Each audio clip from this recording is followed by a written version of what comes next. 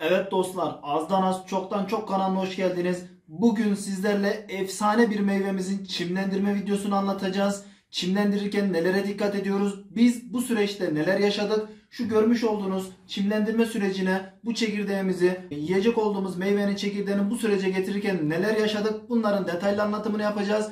Bizim yapmış olduğumuz hataları sizlerin yapmaması için onlar hakkında sizlere detaylı videolar vereceğiz. Öncelikle elimde gördüğünüz üzere iki tane avokado mevcut. Avokado çekirdeğini çimlendireceğiz. Avokadonun faydaları var ama niyetim sizlere bu çimlendirme döneminde avokadonun faydalarından, nelere iyi geldiğinden, hangi alanlarda kullanabileceğimizden dostlar bahsetmeyeceğim. Ne zaman bahsetmeyi planlıyorum? Eğer ki nasip olursa şu fidanımızı toprakla buluşturacağız. Toprakla buluşturduktan sonra zamanla büyürse inşallah daha da kuvvetlendiği zaman aşı işine geçeceğiz. Aşıdan sonra sizlere bu avokadonun faydalarından hangi alanlarda nasıl kullanabileceğimizin detaylı bir anlatımını yapacağım. Şimdi bu konudan bahsetmeyeceğim sizlere.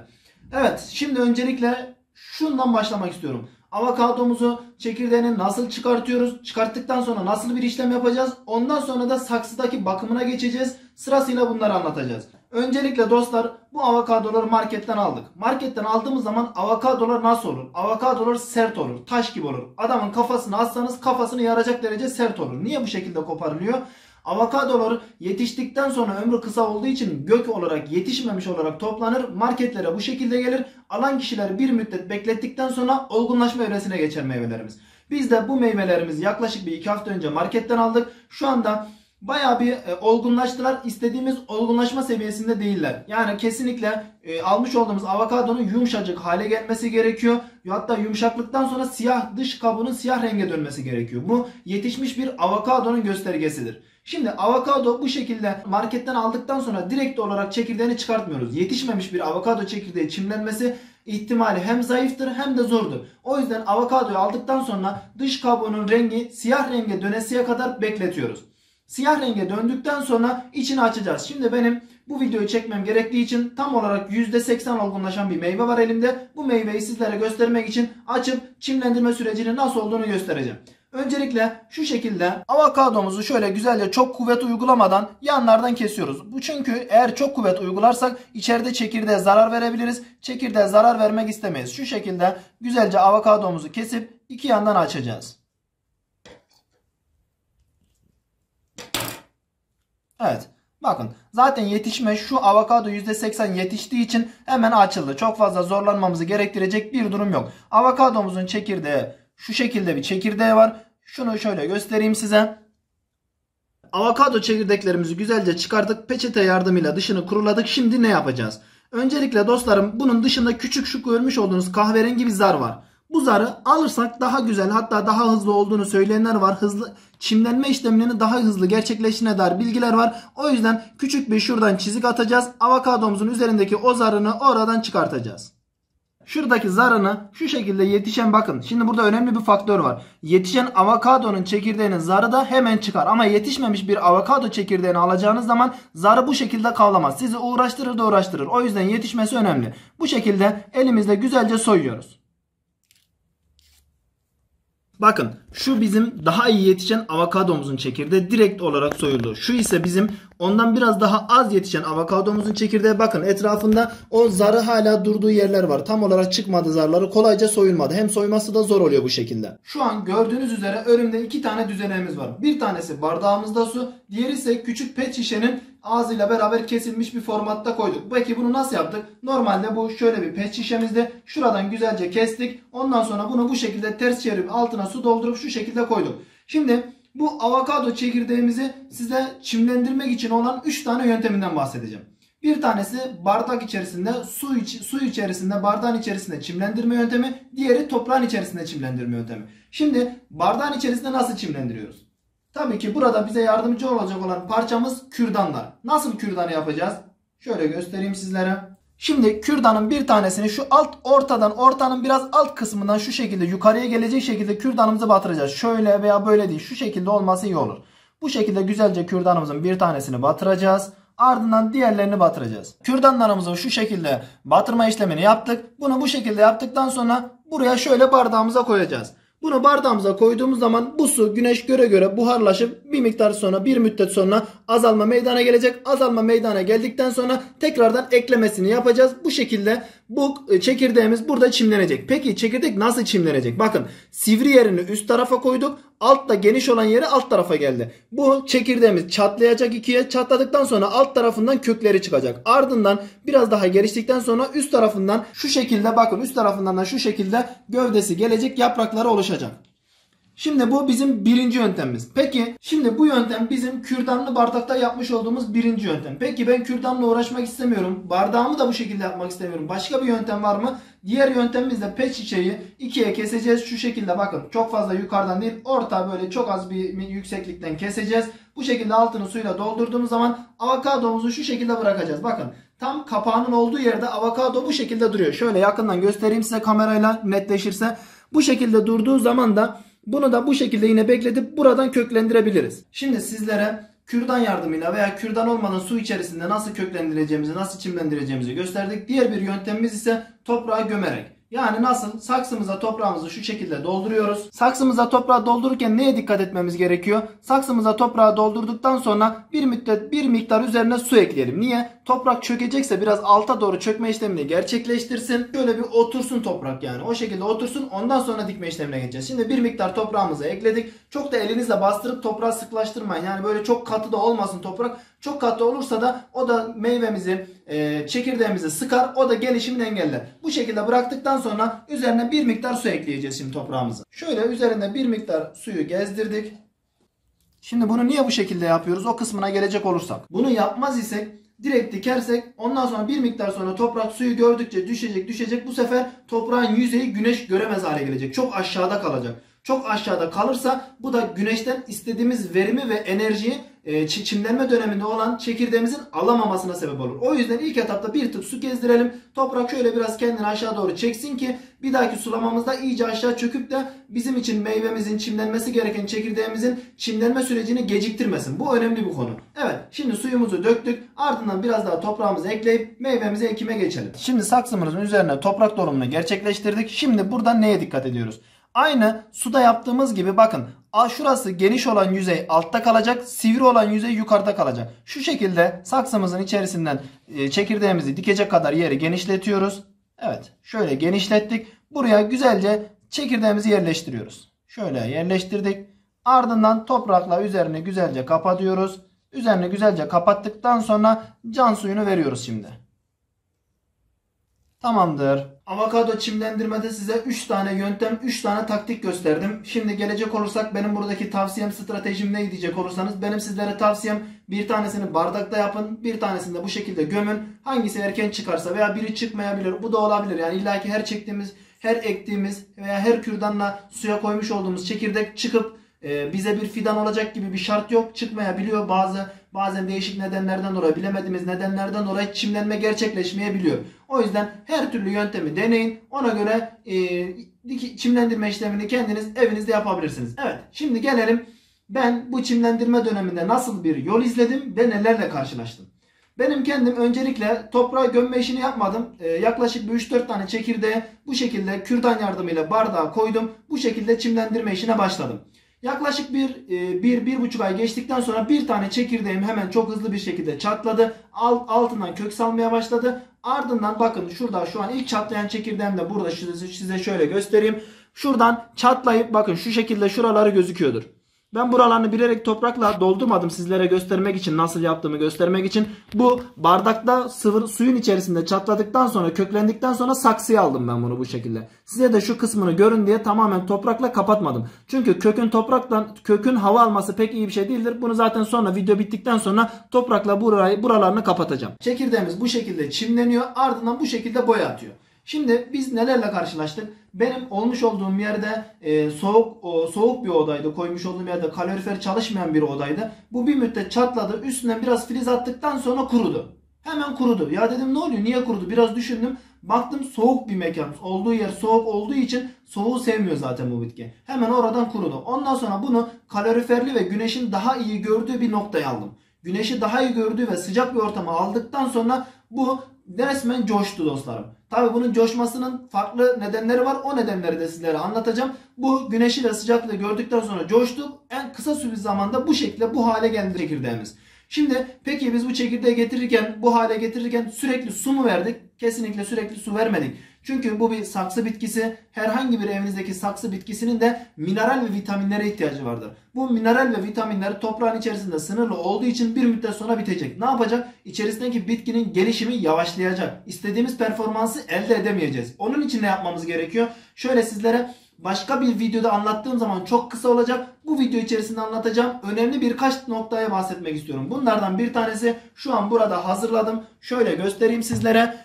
Patates kabuğundan elde edilmiş vitamin ve mineral depolu suyumuz, bir gübremiz, mineralimiz. Şimdi bunu nasıl yapıyoruz? Bu mineralimizi, bu patatesi nasıl yapıyoruz? Dostlarım patates bizim evlerimizde sıkça kullandığımız, her gün hatta her yemekte kullandığımız bir ürün. Patatesimizi soyduktan sonra kabuklarını atmıyoruz, biriktiriyoruz. Kabuklarını güzelce biriktirdikten sonra böyle geniş bir kabımıza alıyoruz. Geniş, geniş bir kaba aldıktan sonra üzerine kaynamış su döküyoruz. Ne kadar? E, ya kabuğun yapmış olduğunuz, biriktirmiş olduğunuz kabuğun büyüklüğüne göre kendiniz ayarlayabilirsiniz. 1 litre, 2 litre kaynamış suyu kettle'da kaynatırsınız. Güzelce bunun içerisine döküyorsunuz. Ondan sonra bu su burada tam bir gün bekleyecek. Koyuyorsunuz herhangi bir yere koyduktan sonra bir gün suyumuz beklediği zaman bakın şöyle bir hal alıyor. Suyun içerisini şöyle size göstereyim. Simsiyah şöyle patates kanından elde etmiş olduğu vitaminleri su çekiyor. Bu şekilde bir hal alıyor. Evet.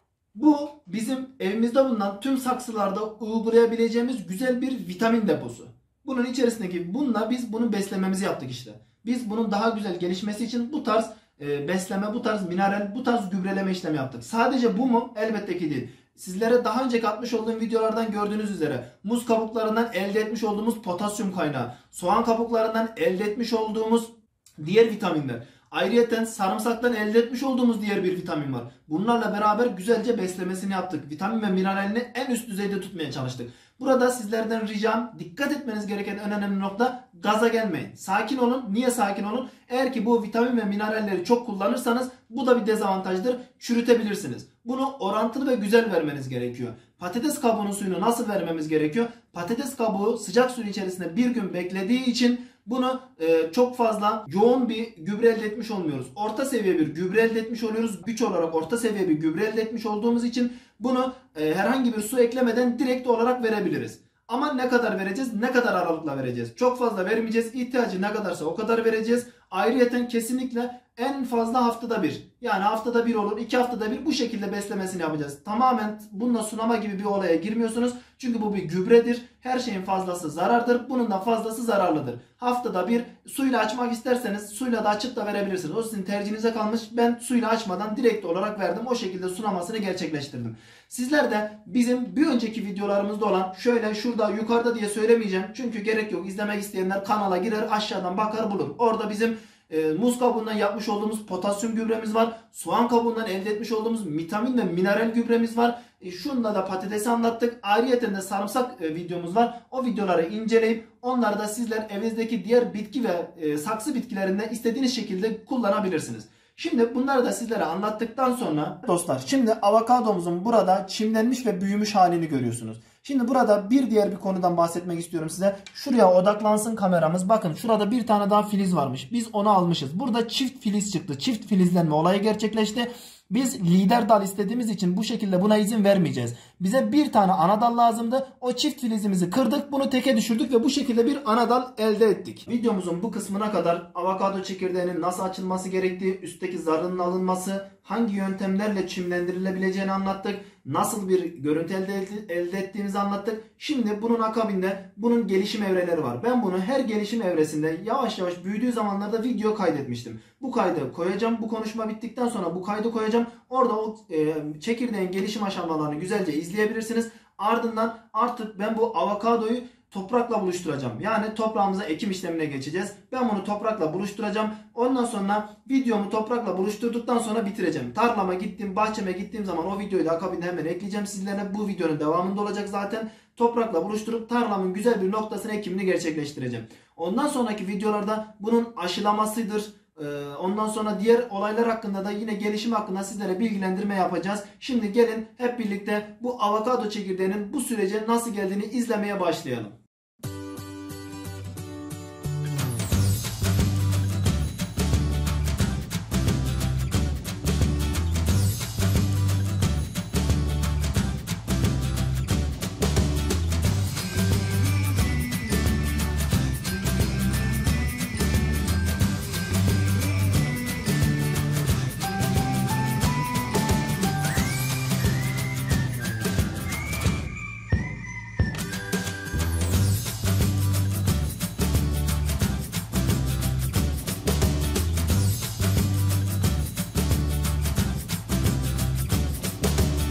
Evet dostlar, sizlere evdeyken avokadonun nasıl geliştiğini, hangi aşamalarda neler yapıldığını güzelce ifade ettik. Şimdi sahadayız. Sahaya indik, tarladayız. Tarlada avokadomuzu toprakla buluşturacağız. Ardından gelişimini sizlerle paylaşacağız. Şimdi şöyle bir nokta, güzel bir nokta belirledik. Belimizi elimize aldık. Güzelce dikecek olduğumuz yeri çukurlaştırıp ardından avokadomuzu dikeceğiz.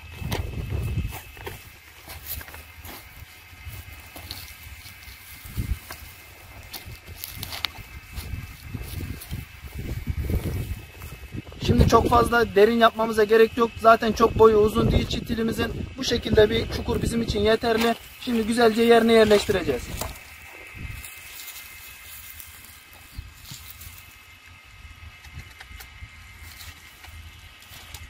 Avokadomuzu güzelce ıslattık. Şimdi çıkartırken güzelce elimize gelsin diye ıslatma işlemini gerçekleştirdik toprağını. Şöyle ters çevireceğiz. Ardından çıkarma işlemini gerçekleştireceğiz. Bakın bu şekilde çıkarttık şimdi avokadomuzu. Ardından yerine yerleştiriyoruz. Ee, yerine koyduk avokadomuzu. Dibine toprak koyarken güneş görmüş. içinde hayvan gübresi olan toprak var. Onunla beraber karıştırıp daha güzel büyümesi için o şekilde toprak koyacağız. Şöyle toprağımız var. Onu güzelce dibine şöyle serpiyorum.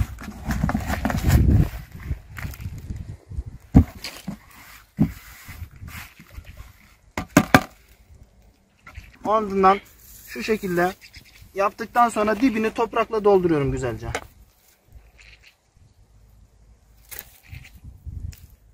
Burada dibini doldururken içeriden çıkarmış olduğumuz kendi toprağıyla geri doldurmuyoruz. Güneş görmüş, güneşle temas etmiş olan toprakla beraber dolduruyoruz ki daha da güzel olsun. Yaptığımız iş düzgün olsun diye o şekilde yapıyoruz. Şimdi şurada güneş gören yerden toprağı alıyorum. Yanlarına güzelce bırakıyorum.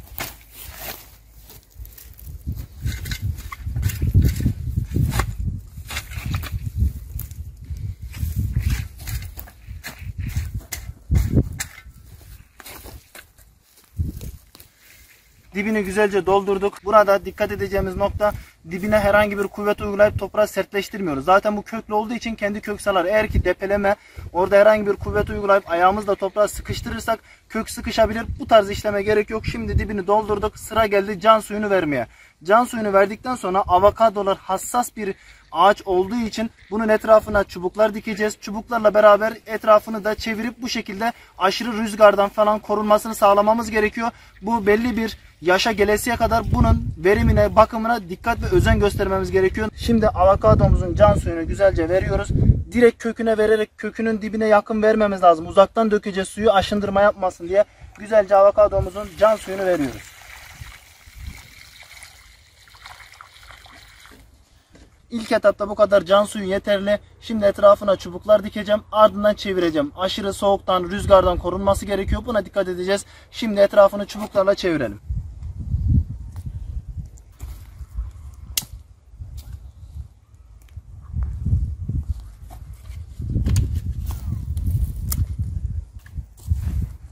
Çubuklarımla güzelce etrafını çevirdim. Şimdi şöyle bir eskimiz var, çuval eskimiz. Bununla da etrafını kapatacağım. Gördüğünüz üzere avokadomuzu bu şekilde çuvalla etrafını çevirdik. Normalde delikli file var. Onunla yapmamız gerekiyordu ama şu an benim olduğum yerde delikli file bulunmadığı için çuvalla çevirdim geçici olarak. Delikli fileyi en kısa zamanda bulduğum zaman bunu değiştirip tekrardan delikli file ile beraber çevireceğim etrafını. Siz de bunu bahçenize diktiğiniz zaman koruma altına almanız gerekiyor. Nazik bir ağaçtan bahsediyoruz. Belli bir seviyeye, belli bir yaşa gelesiye kadar ciddi manada korunması gerekiyor. Dikkat edilmesi gerekiyor. Özen gösterilmesi gereken bir bir, e, bir ağaçtan bahsediyoruz. Avokadodan bahsediyoruz. İnşallah burada bu burada köklerini salar. Köklerini saldıktan sonra büyüdükten sonra aşı aşamasına geçeceğiz. Onları da sizlerle buluşturmaya çalışacağım. Şu anda bu videoyu burada bitiriyorum. Kanala abone olmayı ve beğenmeyi unutmayalım.